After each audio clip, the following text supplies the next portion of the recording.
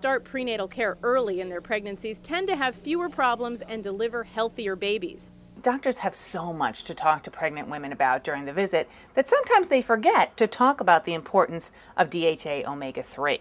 Research shows that DHA is one of the essential building blocks of the brain. It aids in the development of the eyes, nerves, and the immune system and may help increase thinking ability. Not only is DHA good for the developing baby, but it has also been shown to help mothers even after the birth. But think twice if you think the vitamins your doctor prescribed include DHA. Chances are they don't. With so many multivitamins on the shelves, how do you choose the right ones? Check the labels. We found these prenatal multivitamins and DHA from Life Fitness. They're available only at CVS pharmacy stores and are ultra pure and fish free.